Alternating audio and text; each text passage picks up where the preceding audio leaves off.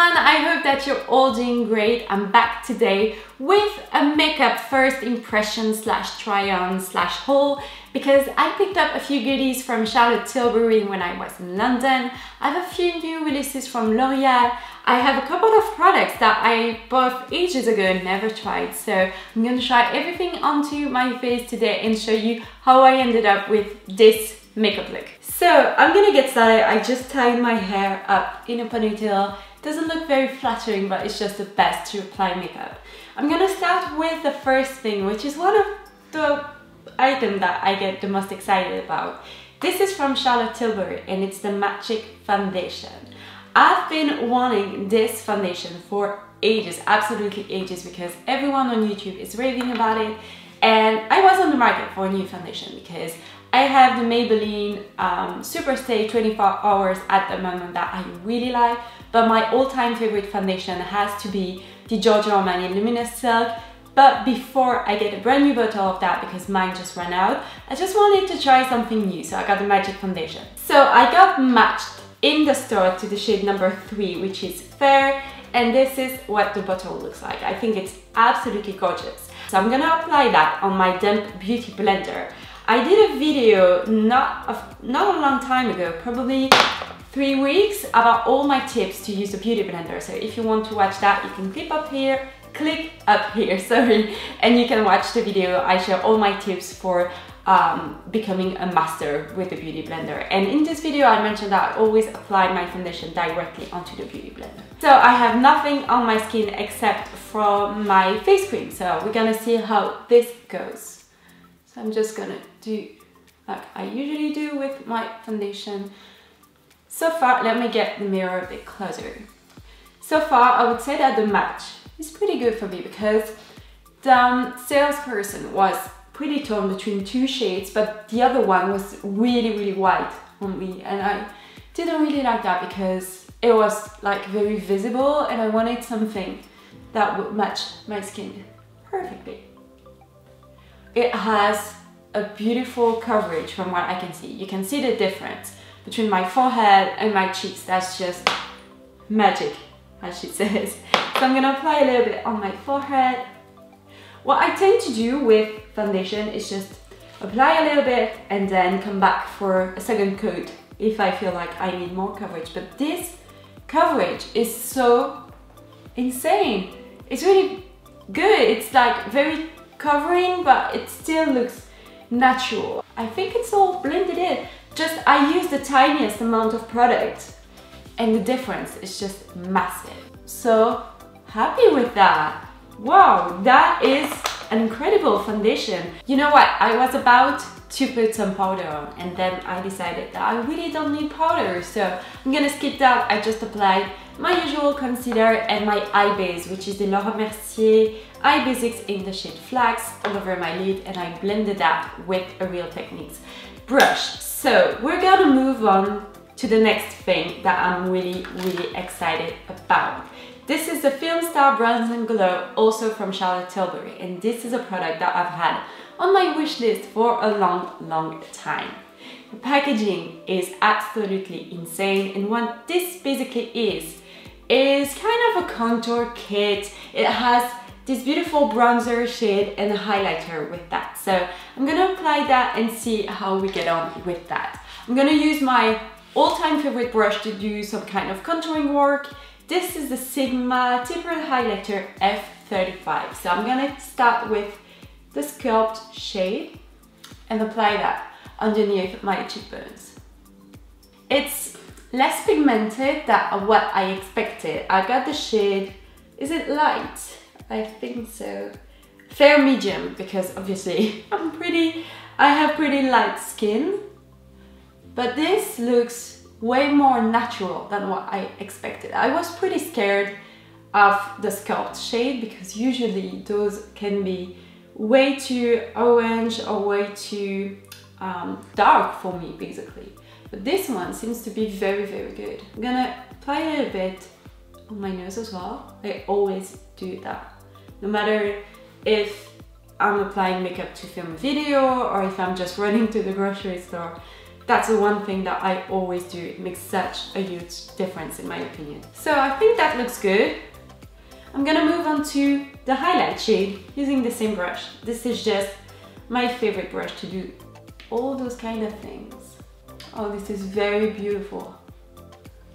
I don't know if you can see it because it's always a bit tricky to get highlight to show on camera. But this is, I would say it's a little bit golden, which is lovely when you have a bit of a tan, but even during winter, I feel like this looks very, very nice. I think we're all done with that. I'm gonna move on to blush.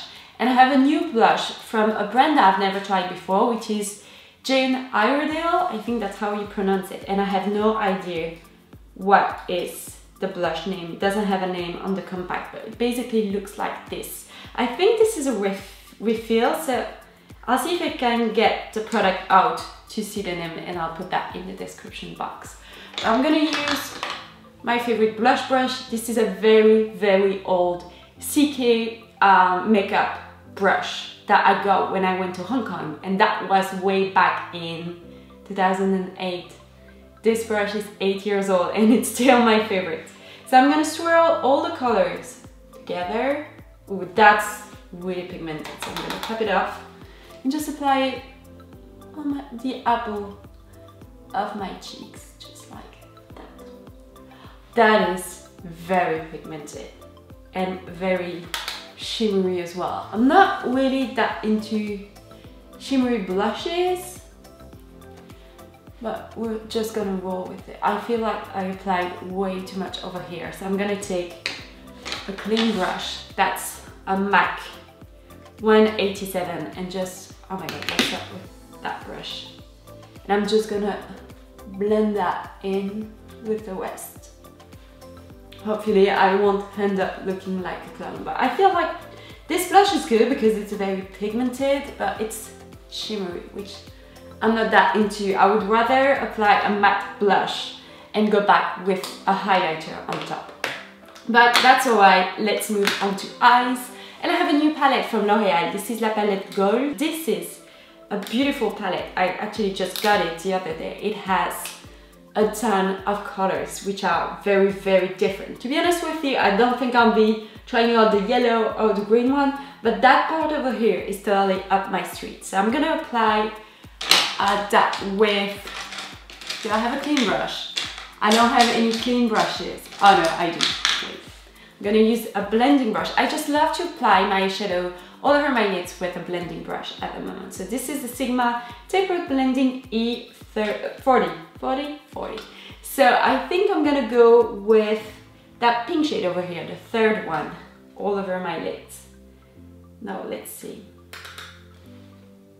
That is a beautiful shade. I'm sorry, I have to move the mirror closer because I'm basically blind at the moment. My view is getting so, so bad. I'm actually thinking about going to the doctor to see if I can get LASIK because it's just not possible like that. It's just, I can't see anything. so, so far so good. This is the kind of shade that I really like because it's close to my natural eyelid colors, but it still has a bit of shimmer, a bit of glitter. No, not glitter, it's just shimmer. Um, I'm just getting too far with that. But I really like it because it adds a little bit of something, but it still looks very natural. And then I'm going to take my pencil, let, let me move my brushes closer. So I'm to use my pencil brush. This is Sigma Pencil E30, that's the E30. And I'm to use the lightest shade, so the one over here, and apply that in the inner corners of my eyes. That is a very beautiful shade. These are surprisingly well pigmented, but because they are in the same range of color, they blend together very nicely. And then I'm gonna go over the top with this little guy, which is just so beautiful. This is Le Petit Trésor from Lancôme in the shade 36 Rose Satin. This is just the cutest thing ever. And for that, I'm gonna use a flat brush. I'm gonna go with, which one am I going I'm gonna go with that one. That's just a very cheap brush that I got ages ago in a makeup kit. But this is just so good. So I'm gonna take a little bit of that and put that in the center of my eyes. That is beautiful. I don't know if you can see it. It's very shimmery. It's a little bit pearly white almost, but it looks so good. Love that.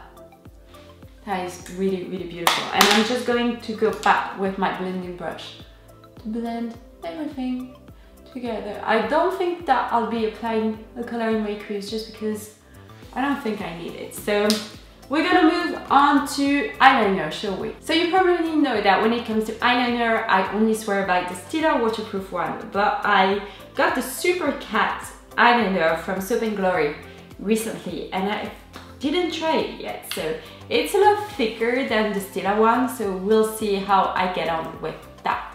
So I always start with the little flick, not trying to go too, too thick with that, just like that. I'm gonna draw my line. So first impressions, it's not as black as the Stila one. The um, felt tip is very stiff, which I'm not used to because the Stila one is kind of flexible and I'm not that talented with this one. Let me see if I can do something with it. I feel like it's pretty hard to be really precise with this. Yeah, that's messy. That's just messy.